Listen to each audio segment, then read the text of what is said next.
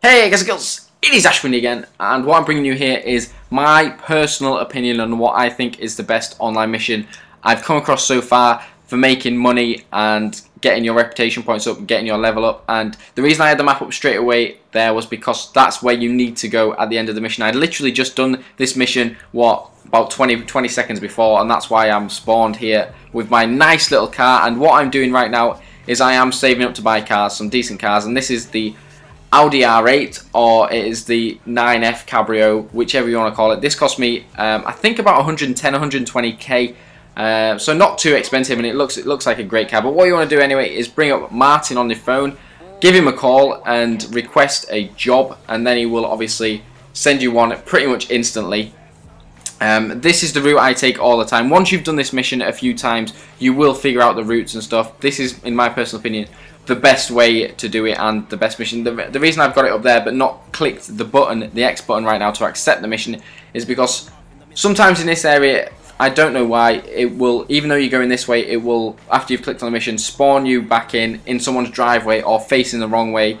And it just takes those few seconds longer having to turn around. So I get to about here and then I click the X button to bring up the mission and you need to ideally make sure you've got an SMG on you and it's got plenty of ammo in as well because if this mission goes wrong he will drive away. Um, it's really really simple this mission. It's so easy. Um, you I, think I've failed it once because I totally fucked up like an absolute bell end and that's about the only time I've done it. I've done it about 30 times um, maybe even more and I've only fucked it up once. He will if you don't get him in time. I think you've got about a minute and a half until he reaches destination. And then if he reaches that then you don't get anything for this unfortunately. But yeah bring up the SMG make sure you've got it on at the start. And then what you want to do is you want to drive up behind this guy.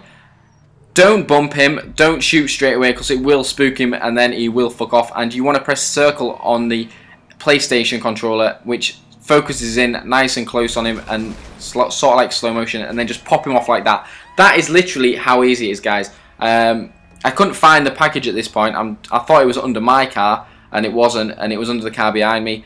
Um, but that's how quick that's how quick it can be. There's been times where I've not been that successful but it worked out perfect when I was filming this video. Um, and he will drive off and you will have to chase after him and try and pop him off but it is relatively easy. You will get two cops on you as well which is, isn't a bad isn't a bad thing. Three is obviously worse because you get a helicopter. And I thought this bit was quite funny that absolute Nimrod didn't have a helmet on or anything. He wasn't playing it safe at all drove into the side of my absolutely amazing car. I'm going to get all my cars in this green colour. I think it looks quite cool. Um, I don't like your traditional red and stuff, but this is the route that I always take back. As I said um, right at the start, you will get used to the different routes, and I think this is the quickest way back. It's pretty much the way you came as well, so it's not too bad.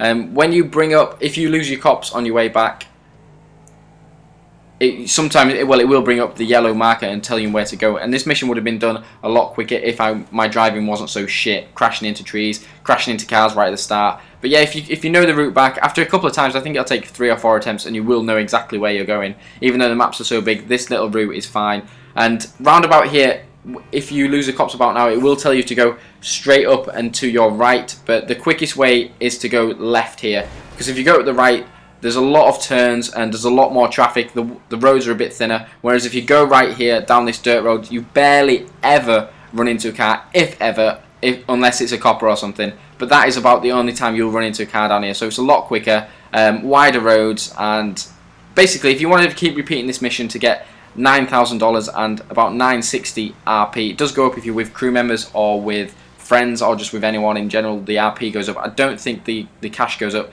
but you can just repeat it over and over again. It doesn't take any time at all, as you'll see here. And that's like the third crash, so I would have been done a good few seconds before, but it takes about, from start to finish, from me making the call, getting in my car, getting there, choosing, like, updating my ammo and stuff, getting back here. It takes, it's, it's taken me looking at the time now, 4 minutes 25 seconds to get here. Some, sometimes it will take a little bit longer. Sometimes you could even be a bit quicker if you weren't as shit driver as me. Uh, but this is this hopefully helps you get your cash up, get your level up, buy some nice cars. I'm going to save up probably for the, not for the Bugatti straight away, but there you go, 9,000. It's 960. That's standard. That's fixed now. It does get a bit more at the start, but the more you do it, it just stays at that from now on. But hopefully this video uh, helped you guys. Give it a like um, if it helped and subscribe if you're not already. But thanks for watching. Have a great day. Hope you're having a great weekend and I will see you all later. Bye bye for now.